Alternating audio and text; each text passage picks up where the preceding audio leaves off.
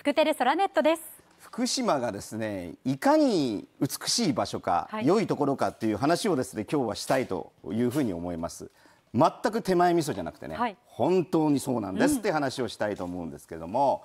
うん、えー、ソラネットで調査しました。こちらでございます。福島の皆さん県外や海外の方に押せる、はい、福島県の自然風景は何ですか、はい、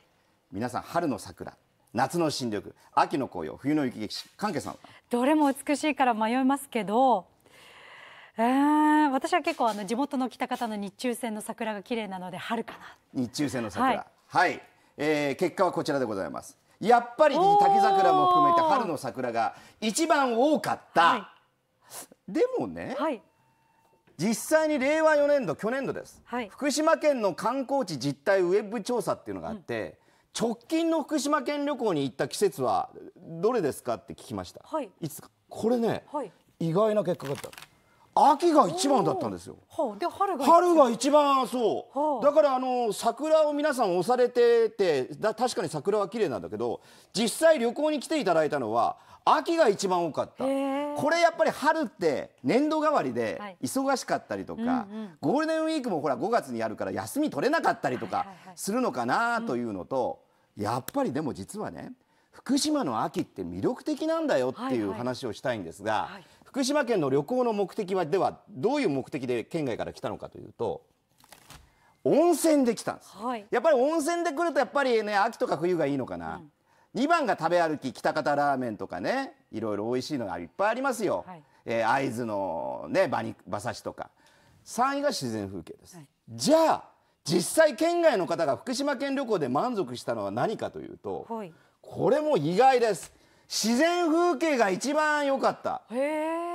だからまあ全員が全員秋というわけじゃないけど、はい、秋に一番来た方が多くって旅行の目的が温泉だったんだけど実際旅行で満足したのは自然風景だった。はい、ということで相当ですねこれ紅葉の美しさっていうのがあるんじゃないかなというのが、うんうん、えー、私の推定でございます。はい、でそのですね紅葉といえば何といってもえーと、バンダイアズマスカイラインですよね、はい、こちらの様子ご覧ください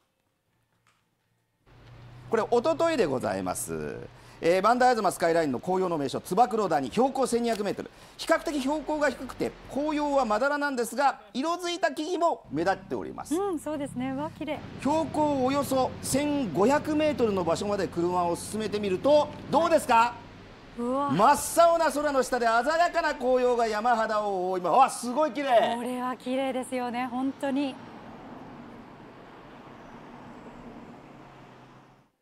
日本的でないこうこういう荒々しい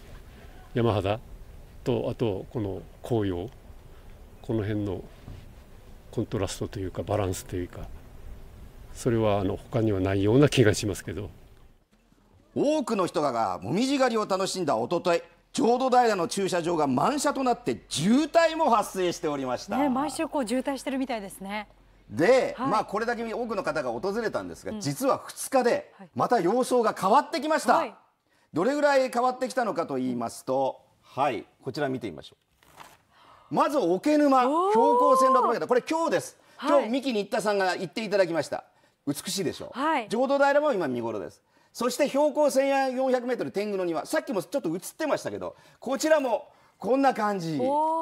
そして標高1200メートル燕谷はさっきはそれほどでもなかったでしょう。ところが今日になってこれだけ色づいてるっていうことなのであっという間に色づき始めてるということです、はい、で今年の紅葉じゃあ浄土平ビジターセンターどうなのかと言いますと今年の紅葉は猛暑の影響を心配したけれども、うん、綺麗だった。そうですよね見る限り。そう、はい、去年並みの美しさなんじゃないか。理由はやっぱりね秋台風来なくて落葉していないってことと急激に気温が下がって適度な降水があったので、えー、美しいですというそういうことで、えー、ございました。いいでしょう、はい、さあこの紅葉なんですけどもやっぱり盛り上がってきています。紅葉シーズンの予約状況土温泉の宿に聞きました、うん、こちらでございます。はい。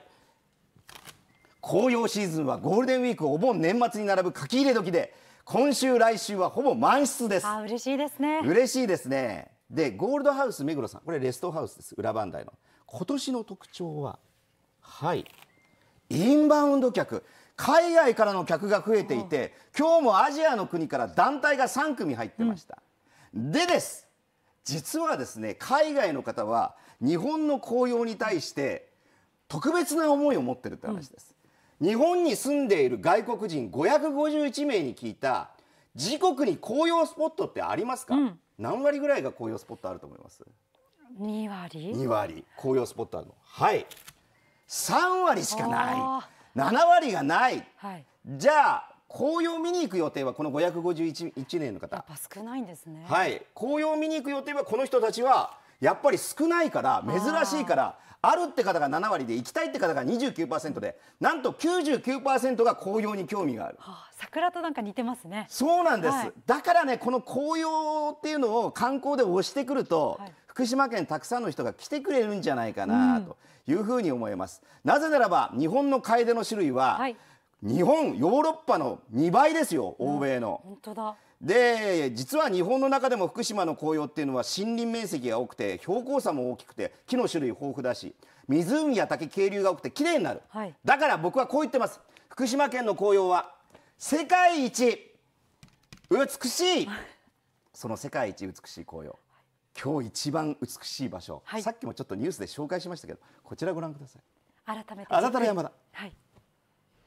はい、ロープウェイでのこれねロープウェイで標高1300メートルまで行けちゃうっていう、うん、だから登山しなくても美しい紅葉が見れる。しかもそのロープウェイの最中にこうやって紅葉のグラデーションを低いところから高いところで見える。そして到着しました、はい、とすぐです。あの展望台まで。歩いて5分ぐらいですよね。そうですね。5分もかかんないんじゃないかな、はい、簡単に登れます。でここがその展望台でそう福島の規定とかでパンフレットとかで出てくる景色ですよ。美しいですよね。ねテレビで見るだけでも美しいですもんね。目の前で見た方は最高ですね。で滝もあるんですよ、はい、だから滝の周りってほら紅葉綺麗でしょ？